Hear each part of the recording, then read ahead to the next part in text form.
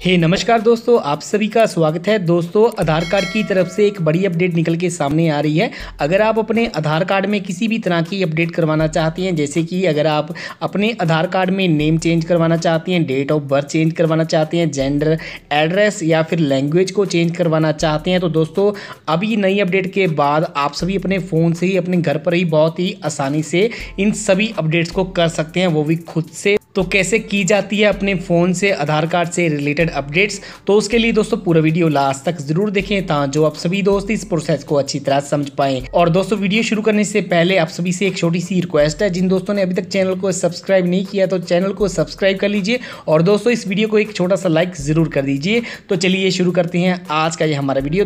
तो दोस्तों, आधार कार्ड में किसी भी तरह की अपडेट करने के लिए आप सभी को इस वेबसाइट पर आ जाना पड़ेगा। तो इस वेबसाइट का लिंक आप सभी को इस वीडियो के डिस्क्रिप्शन में मिल जाएगा। डायरेक्ट आप उस पर क्लिक करने के बाद इस वेबसाइट पर आ जाएँगे। यहाँ पर आप सभी ने क्लिक कर लेना है। प्रोसीड टू अपडेट आधार के ऊपर। और उसके बाद एक नया पेज ओपन हो जाएगा, जहाँ पर हमने सबसे पहले अपना आधार नंबर भरना है और उसी के नीचे कैप्चा वेरिफिकेशन कोड भरना है, जो कि आप सभी को सामने ही कैप्चा है, जहाँ पे लिखा हुआ नज़र आ जाएगा। और उसके बाद सेंड ओ पे क्लिक करेंगे। हमारे एक मोबाइल नंबर पर एक ओ मैसेज आएगा, जिसे हमने नीचे भरना है और उसके बाद हमने लॉगिन पे क्लिक कर लेना है। तो चलिए सभी डिटेल्स भरने के बाद मैं लॉगिन पे क्लिक कर लेता हूँ। और उसके बाद दोबारा से एक नया पेज ओपन हो जाएगा। यहाँ पर हमने अपडेट डेमोग्राफिक्स डाटा के ऊपर क्लिक कर देना है। तो यहाँ पर अभी एक नया पेज ओपन हो चुका है। अभी इन दिए गए ऑप्शन में से हमने उन ऑप्शंस को सेलेक्ट करना है, जिसे हम अपने आधार कार्ड पर अपडेट करवाना चाहते हैं। जैसे कि अगर आप अपने नेम में करेक्शन करवाना चाहते हैं तो यहाँ से हम नेम को सिलेक्ट है जो कर लेंगे। अगर जेंडर में कोई करेक्शन करवाना चाहते हैं तो जेंडर को सिलेक्ट करेंगे।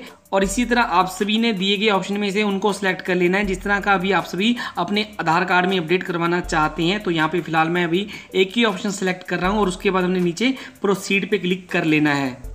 और उसके बाद एक नया पेज ओपन हो जाएगा। आप इसे भी केयरफुली रीड कर लीजिए। और उसके बाद हमने जैस के सामने दिए गए बॉक्स पे टिक करना है और उसके बाद प्रोसीड पे क्लिक कर लेंगे। तो जैसे कि मैंने पिछले पेज पर है जो अपडेट के लिए सिर्फ़ नेम को सिलेक्ट किया था, इसलिए आप सभी को यहाँ पर नेम नज़र आ रहा है। तो आप सभी ने उन ऑप्शन में से जिस चीज़ को सिलेक्ट किया होगा तो आप सभी को यहाँ पर वो नज़र आना शुरू हो जाएँगे। तो अगर आप अपने आधार कार्ड में नेम करेक्शन कराना चाहते हैं तो उसके लिए हम यहाँ पर सही नेम अभी यहाँ पर भरेंगे, जहाँ पे लिखा हुआ है एंटर योर करेक्ट नेम अभी आपने यहाँ पर सही नेम भरना है, जिसे आप अपने आधार कार्ड में चाहते हैं। नेम भर हो जाने के बाद नीचे हम एक डॉक्यूमेंट सिलेक्ट करेंगे। सिलेक्ट करने के लिए हम यहाँ पे सिलेक्ट के ऊपर ही क्लिक कर लेंगे।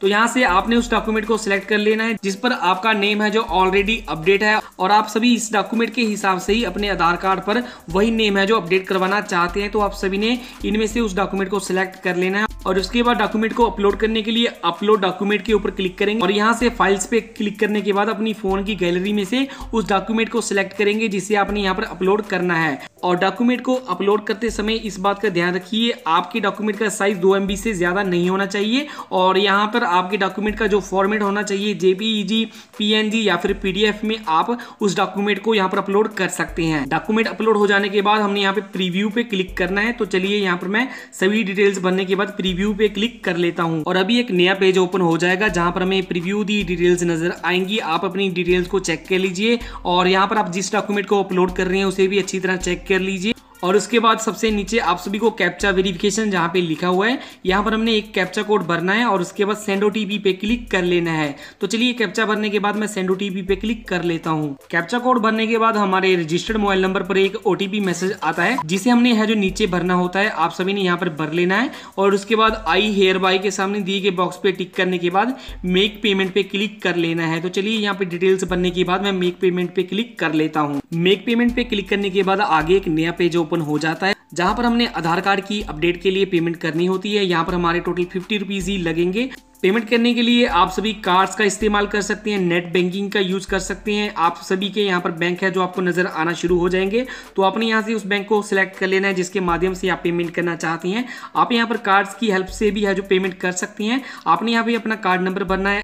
और उसके बाद एक्सपायरी मंथ और ईयर भरना है सी बी वी भरेंगे और उसके बाद नेम ऑन कार्ड जो लिखा हुआ है हमने यहाँ पे भरना है और उसके बाद प्रोसीड पे क्लिक कर लेना है, जिसके बाद हमारी पेमेंट है जो सक्सेसफुली हो जाएगी और पेमेंट होने के बाद आप सभी को एक स्लिप मिल जाएगी जिसे आपने सेव कर लेना है, उस पर आप सभी को एक रेफरेंस नंबर मिल जाता है, जिसके माध्यम से आप सभी अपने आधार कार्ड का स्टेटस है जो चेक कर पाएँगे। तो दोस्तों आई होप आज की ये वीडियो आप सभी के लिए हेल्पफुल रही होगी और आप सभी को पता चल गया होगा कैसे हम अपने मोबाइल से ही अपने आधार कार्ड में अपडेट करवा सकते हैं। दोस्तों, अगर वीडियो हेल्पफुल रही हो तो वीडियो को लाइक कर दीजिए और आगे आधार कार्ड से जुड़ी हुई हर अपडेट को सबसे पहले जानने के लिए चैनल को सब्सक्राइब करके साथ में बेलाइकन को प्रेस ज़रूर कर लीजिए।